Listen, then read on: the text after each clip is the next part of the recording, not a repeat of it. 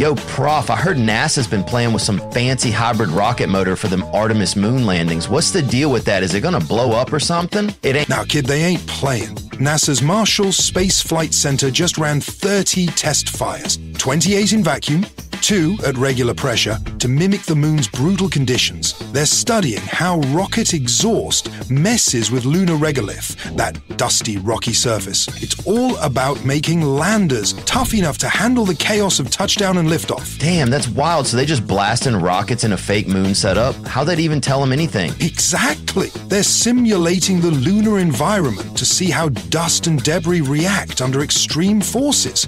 Next, they're shipping this motor to Langley for tests in a 60 foot vacuum sphere with fake regolith.